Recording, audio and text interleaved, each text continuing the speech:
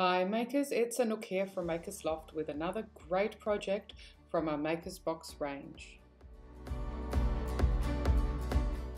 In your pack you would have received some macrame cord, some wooden beads, a wooden ring,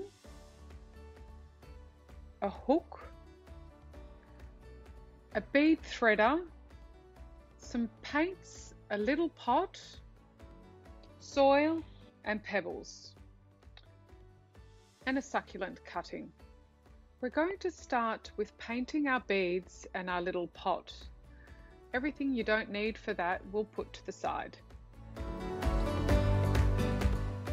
So what you'll need is your paint brushes, your wooden ring, your beads, and your little pot, your paper cup and your skewer. We're going to start with putting a bead on our skewer. This is to help us paint it. Painting the ring is optional, but today I'm going to paint this ring black. And you can also leave your bowl white if you prefer that. Just be sure to paint some sealant on the inside before planting your pot. So we'll start with painting the beads first. It helps to have a hairdryer handy to dry in between coats.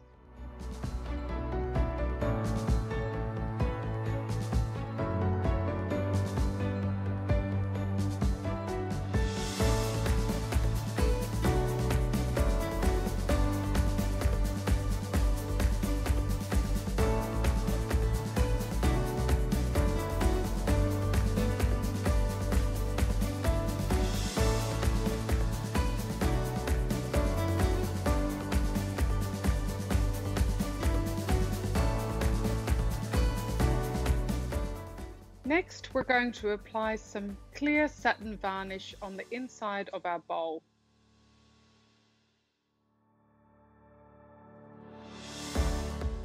Sit these to the side to dry. So let's get started on our macrame plant hanger.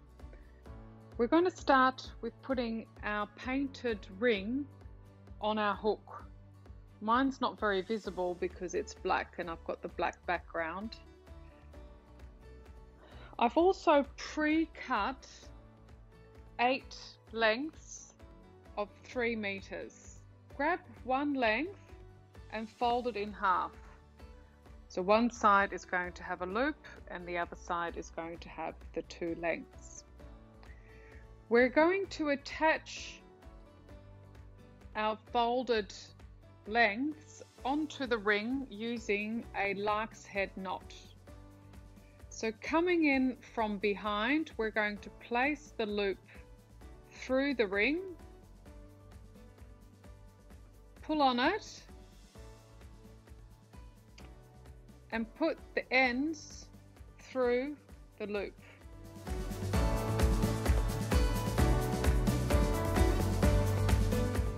Then pull that tight.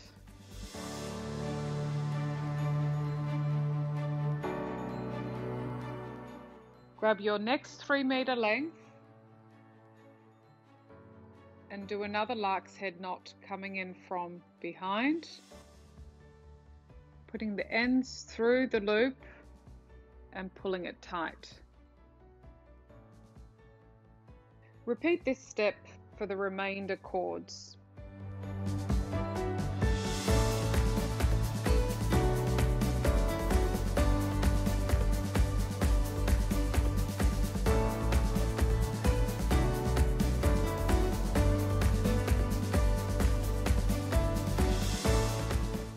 This is what it'll look like on one side and on the other side it'll look like this. Just make sure that all the loops are the same on each side.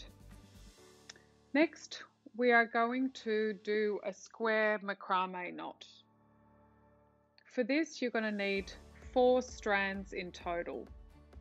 So I grab four strands and I'm going to move the remainder off to the side.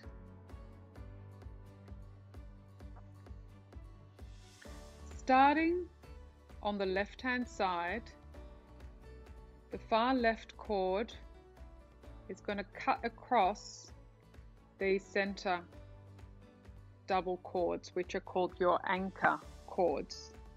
It's going to come in front of your anchor cords, and then your right hand cord is going to sit over the top of your left hand cord.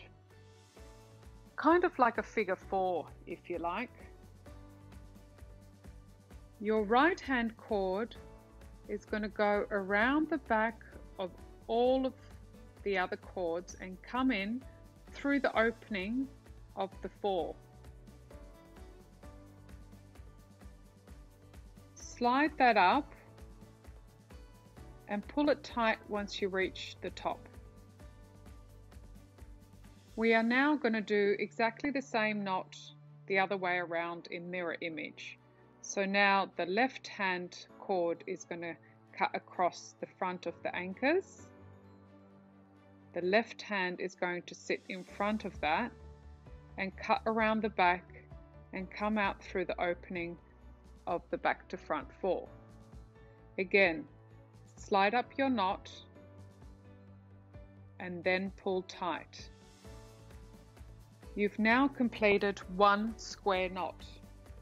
We're going to continue this coming down this first group of strands and we're going to do 15 square knots. So 15 on the left and 15 on the right.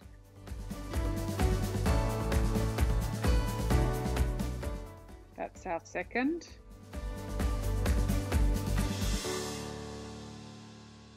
Third. Fourth. fifth. Continue this till you have 15. If you struggle remembering which side your last knot is on, you might find it helpful to see where your last front loop is. That will remind you where your next side is. So my front loop is on the left hand side, so my leading strand will be on the left hand side. When your loop is on the right hand side, your leading strand will be on the right hand side.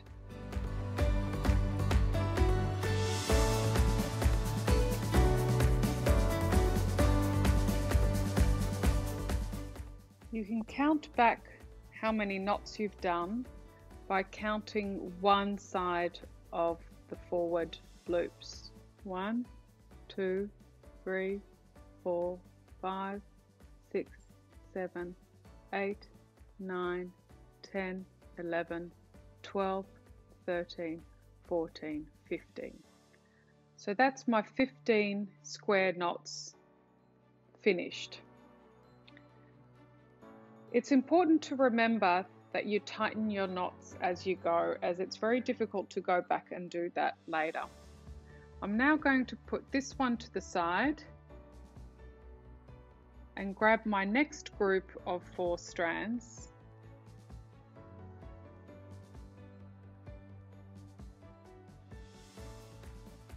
and repeat that process.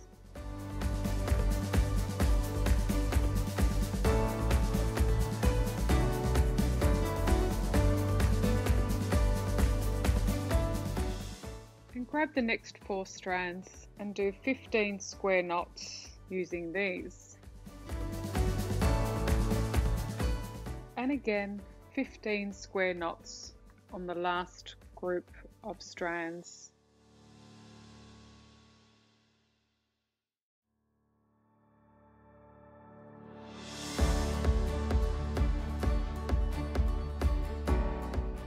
If you find your lengths of square knots are a little bit uneven, you can adjust it by holding the anchor strands and just gently sliding your knots up a little bit until they're all even.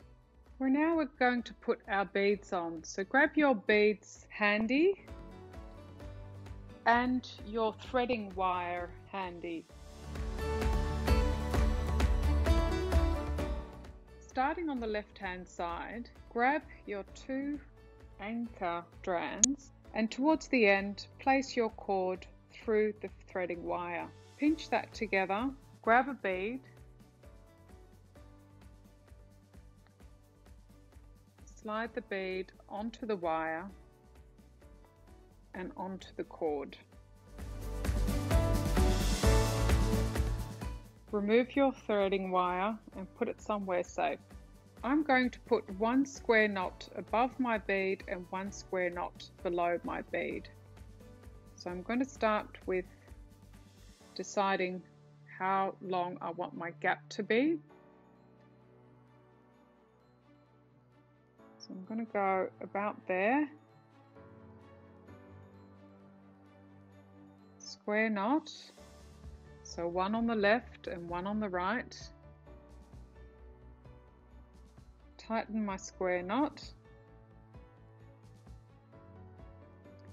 slide my bead up and place another square knot below my bead.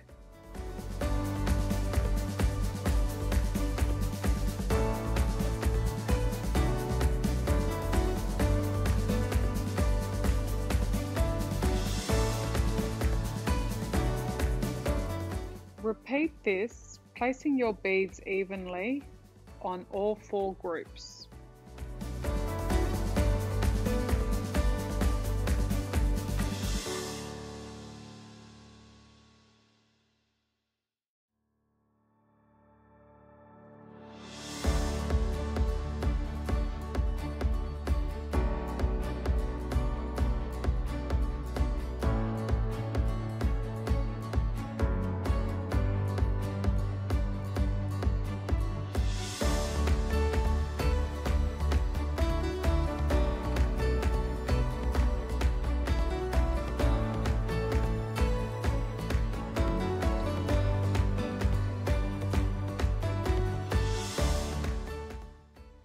We're going to learn how to do a spiral knot.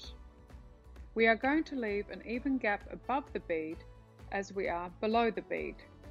The spiral knot is the same start as the square knot.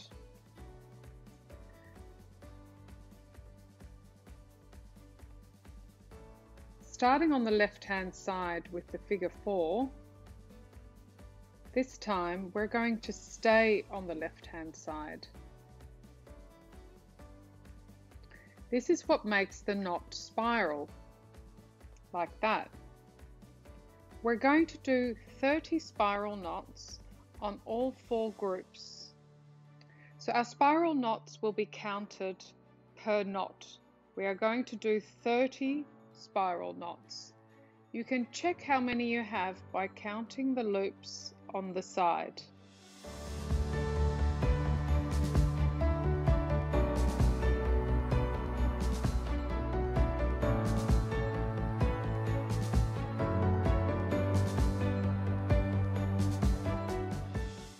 We now need to create the basket for our pot to sit in. Be sure to have your bowl handy for measuring. I've got my one that I painted black earlier ready to go but I also have a white painted one so that you can see it in the video. Let's start with creating a circle. So we're going to grab the set from the far left and the set from the far right and bring those together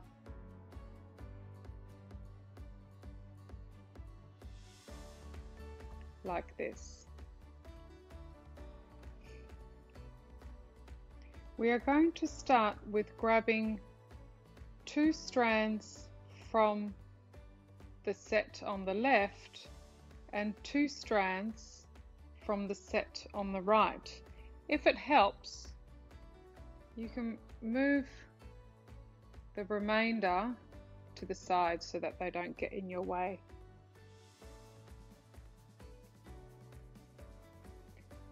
We are now going to do a square knot with these four strands. Choose where you would like your basket to start. The two middle ones will be your anchor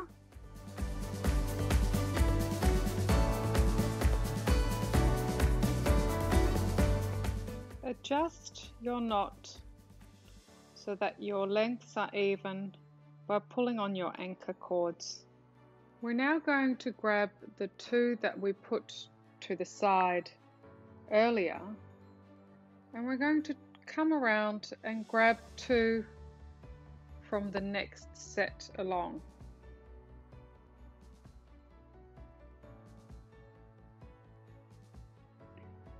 Again, two middle ones will be your anchor cords and we're going to use the other two to knot with. Make sure your knot is the same height as the first knot you've done. And remember these are square knots, so one knot is a figure four on the left and then a figure four on the right. We are now going to grab the other two strands from the second set and grab two strands from the one next to it around the back. Sometimes it helps to turn your hook over at the top, but I'm going to leave mine.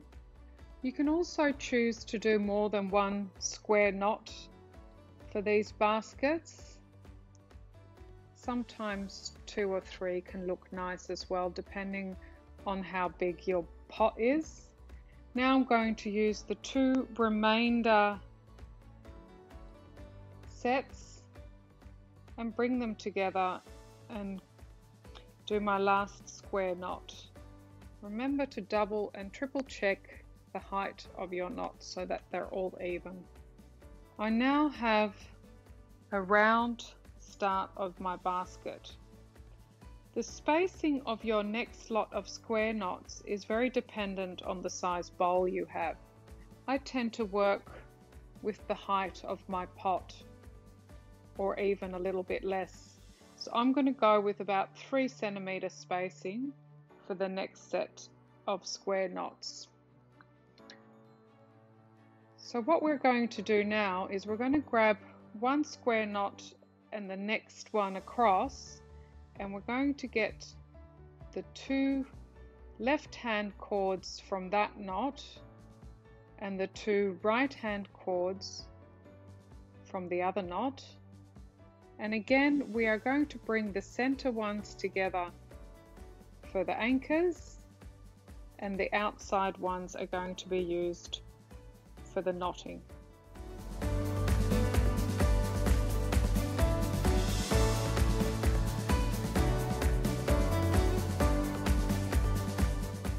Repeat this process, grabbing the remainder two from this knot and the next two from the next one. Moving around in a clockwise direction and making sure that all your knots are even and lined up. This will make a big difference on how your pot will sit in your basket. I'm now going to finish up with the last two to close the circle. So we now have something that resembles a net. What we need to do next is close our net off so that our pot can sit inside it.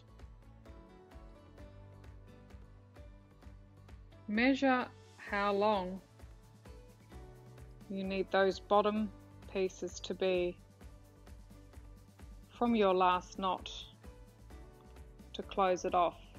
Be sure to hold your hand firmly at the bottom so that your pot doesn't fall out. I'm going to go with another three centimeters to gather the bottom of my basket. I've got loads of thread left at the bottom, so I'm going to get my scissors and give it a little bit of a cut. Remember, it's always better to have too much cord than not enough. I'm going to use the longest of these cut cords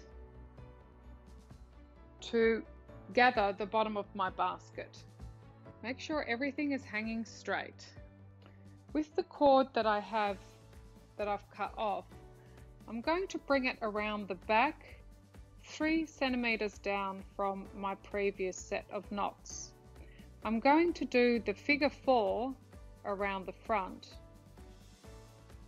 Bring the right hand cord around to the back and we essentially have the start of a square knot just using one cord. I'm going to repeat this process as a square knot to gather the base of my basket. You can choose how long you want this gathering to be.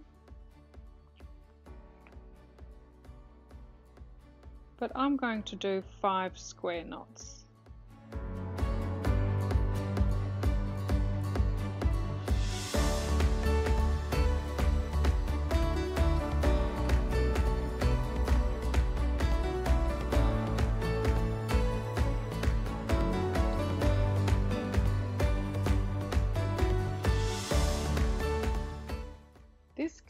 Completes your plant hanger.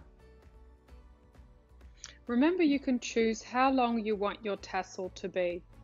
I like to leave mine quite long. When you have some time later, you can unravel all of this and get your hair comb and undo the ply of your cotton. This will give it much more of a tassel finish. Grab your two little bags with your pebbles and your soil in it. And we're now going to put the soil in our little pots. Your succulent is just a cutting, so won't have any roots.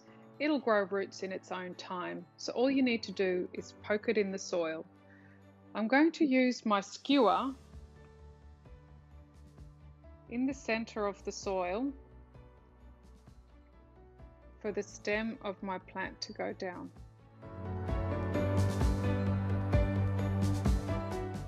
And then we're going to place some pebbles as the top layer on us on top of our soil.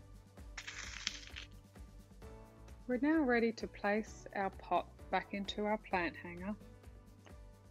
Your little succulent shouldn't need too much care all it needs is a little bit of daylight and some drops of water either once a week or once every couple of days.